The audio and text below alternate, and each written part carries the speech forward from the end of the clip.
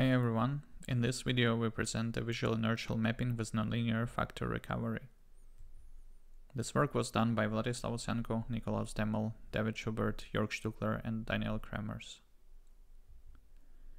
Camera-based navigation and mapping is important for many applications, starting from the drones that can be used for inspection, surveillance and delivery to household robots that can help us with our daily tasks.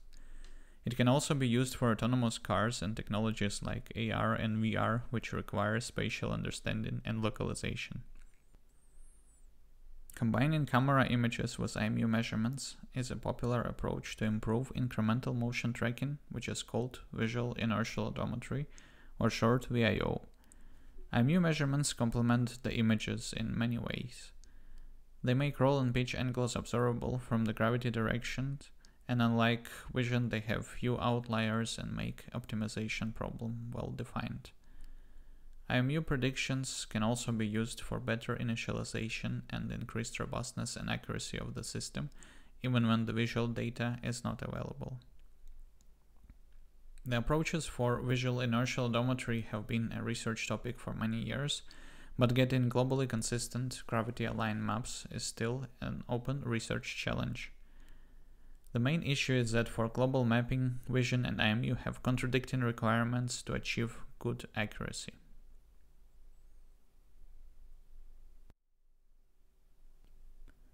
For Vision, large baseline is required for better point triangulations, so many approaches rely on a sparse set of keyframes that have large time intervals between each other. This allows to reduce the size of the optimization problem but increases time intervals between frames. For IMU, small time intervals between frames are preferable as the position information degrades quickly with time. We propose a new approach that combines IMU and short-term visual information into nonlinear factors extracted from the VIO, which is the first layer of our system. These factors are then used to make a globally consistent gravity-aligned map in the VI mapping, which is the second layer of our system. Compared to the raw pre-integrated IMU factors that are used in many state-of-the-art methods, our approach results in smaller optimization problem and increased accuracy. On the top right, you can see the trajectory produced by our VIO and on the bottom, uh, the trajectory from our, our VI mapper. Let's get started with the first layer, which is the visual inertial odometry. We first use a sparse optical flow to track short-term visual features. We track patches from frame to frame, assuming SE2 transformation between them. We use an inverse compositional approach for warping patches and locally scaled sum of squared differences to make the fast feature tracker that uh, is invariant to changes in the exposure time. To remove outliers, we track all patches to the target frame and then backwards to see if they return to the same location. Additionally, we use epipolar checks for stereo pairs. The tracks from optical flow are then used to formulate the reprojection error, where 3D points are stored in the coordinate frame associated to one of the keyframes and parameterized with a unit direction vector and inverse distance. For the minimal parameterization of the unit vector, we use a stereographic projection. To combine short-term vision information with the IMU measurements, we follow the approach that was proposed by Lupton et al. We combine several consecutive measurements together into pre-integrated pseudo-measurement and include it into the optimization. This way we can reduce the size of the optimization problem. To keep the computation budget fixed, we remove old frames and uh, keyframes from the optimization problem by employing partial marginalization. This technique is also known as fixed lag smoother. This, uh, all these techniques combined allow us to build a state-of-the-art visual inertial odometry system that outperforms many open source competitors, as will be shown in the evaluation section.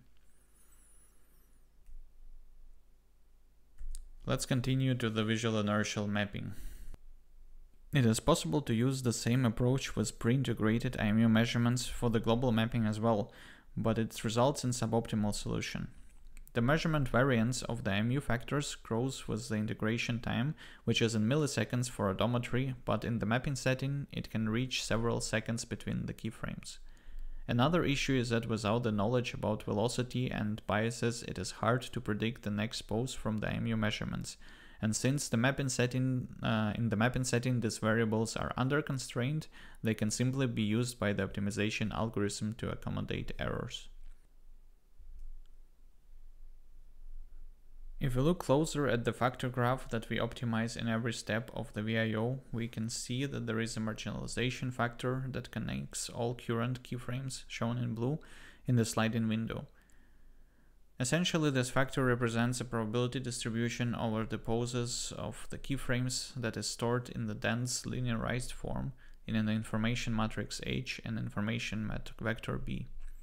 This probability distribution is relevant for the global mapping, but we cannot simply insert it into the global optimization because the poses are linearized around their absolute values.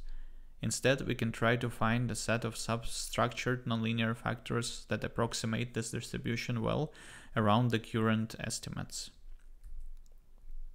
We've selected a set of factors that represent absolute position, yaw, roll and pitch angles, and pairwise relative poses. Um, we extract those factors before we marginalize out a keyframe from the VIO and select relative poses such that the parts captured by the approximate distribution will be removed after marginalization. To quantify how well our approximate distribution represents the original one, we use KL divergence. In general, minimizing KL divergence between two distributions requires iterative methods and can be rather slow, but in our particular case, the closed form solution exists. We follow an approach called uh, nonlinear factor recovery that guarantees that the reconstructed distribution has a minimal possible KL divergence from the original one. This approach is presented in the paper by Mazuran et al., uh, which describes a closed form solution for the case when stacked Jacobian matrix of the new measurements has a full rank. After recovering the distribution parameters, we drop absolute position and yaw factors and reuse uh, relative poses and roll pitch factors in the global mapping. For computing the global map, we initialize the keyframes with the poses from the VIO. We detect and match the key points to find loop closures and combine them with recovered factors in the joint optimization problem. This way we capture the information from the IMU and short-term vision. This results in a globally consistent gravity-aligned map that can be further used for the tasks like visual localization or 3D reconstruction. Quantitative results show that our VIO system outperforms many state-of-the-art approaches, including direct VIO methods in terms of absolute trajectory error. VI Mapper, the second layer of our system, optimizes the map that consists of only keyframes and further increases the accuracy. We also show that the proposed approach outperforms the pure vision only bundle adjustment, pose-graph optimization, and methods that rely on pre-integrated IMU measurements for the global mapping. Our implementation is well parallelizable and runs faster than real time on the modern multi-core CPUs. In our experiments, average processing speed was around 8 milliseconds for the VIO and 50 milliseconds for all stages of the mapping per frame. To summarize, we proposed a two-layer mapping system. Our approach subsumes high frame rate, visual inertial information in nonlinear factors extracted from the marginalization prior of the VIO layer and uses them in the mapping layer to compute globally consistent gravity-aligned maps. This results in smaller optimization problem and in better pose estimates. We release the visual inertial odometry code, mapping code and calibration code of our system Uh, open source at the link provided below. Thank you for your attention.